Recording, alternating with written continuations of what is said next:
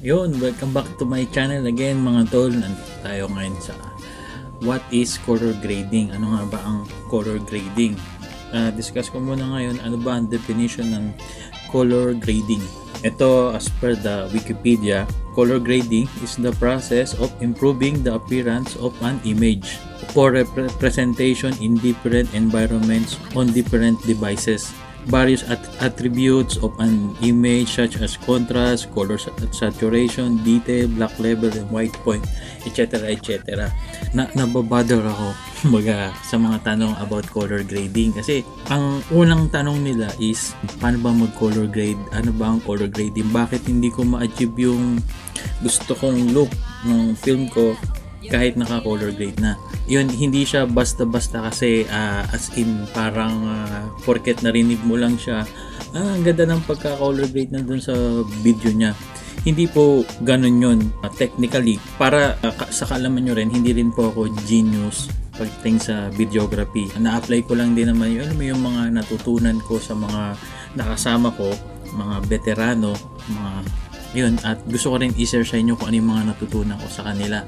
Sa akin uh, hindi ko hindi siya dapat natin unang-unang itatanong for example sa mga yun alam mo yun sa mga veteranong uh, videographer. Kasi sa totoo lang pagtatawa ng kanila.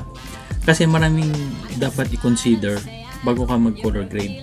Una anong picture profile ang gamit mo? So yung iba alam nila yung flat picture profile yung log S log kung Canon man yan.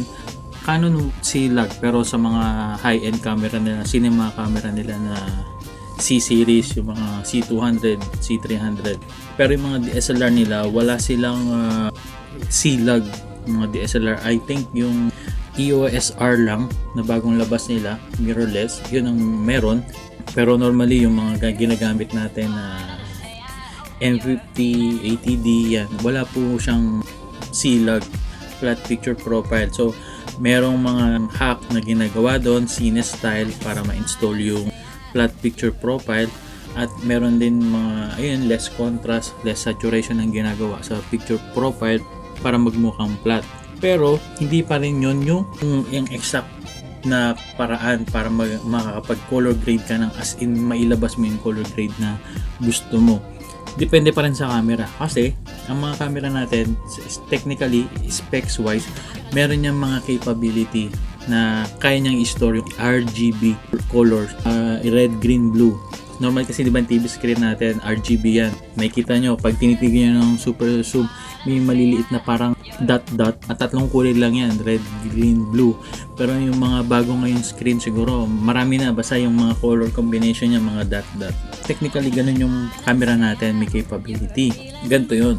Normally ang mga camera ngayon mostly is 8 bit lang mag shoot kaya nyo i-shoot 8 bit per seconds an 8-bit video camera output pictures where the RGB values quantized to 1 256 level.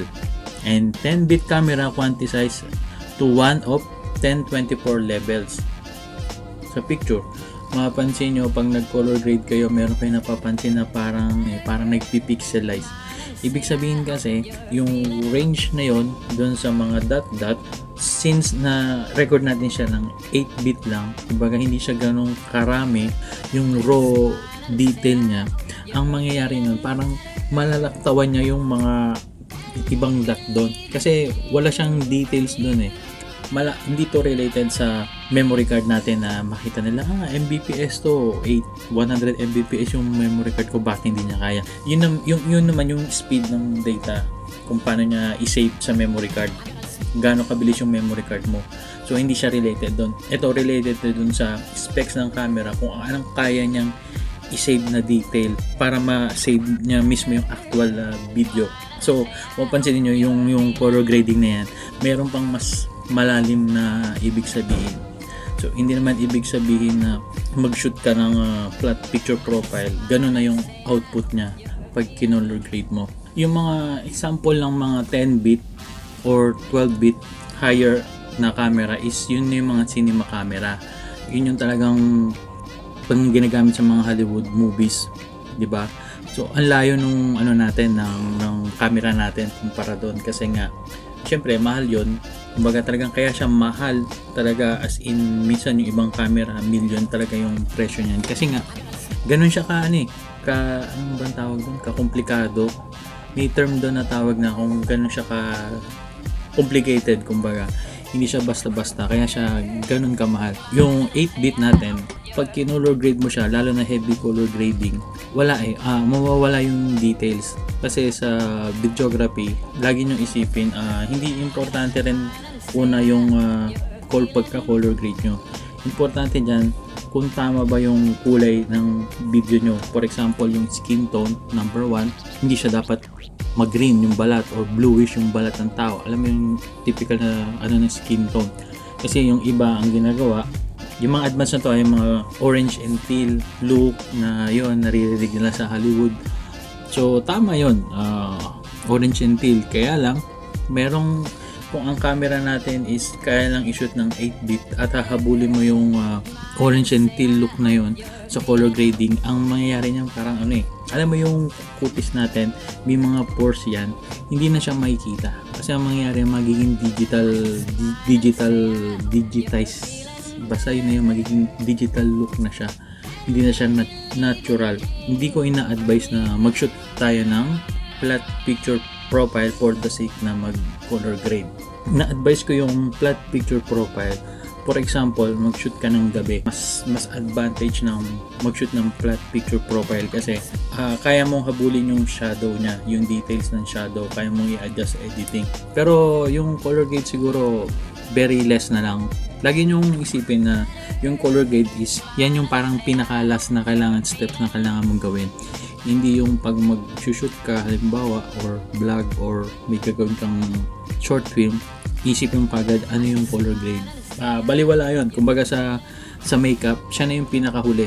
Siya na yung pinaka parang ano. Ang foundation is yung of course number one is content story. Syempre kahit anong ganda ng quality ng video mo kung wala rin sense yung video mo yung film mo wala din eh. Is, is isang typical na video lang pero kung meron kang istorya 'di ba kahit anong quality pa yan kahit mobile phone pa yan uh, talagang papatok siya. Ay, yung, yung, yung ang pinaka-advice ko uh, sa mga nag-uumpisa, huwag tayong mag-focus sa color grading. Bukod sa lada, hindi ko kaya dini-discourage na huwag kayo na mag-color grade or what.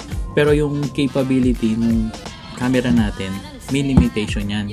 Pero hindi ibig sabihin, lilimitahin, lilimitihin na rin natin yung yung sarili natin doon.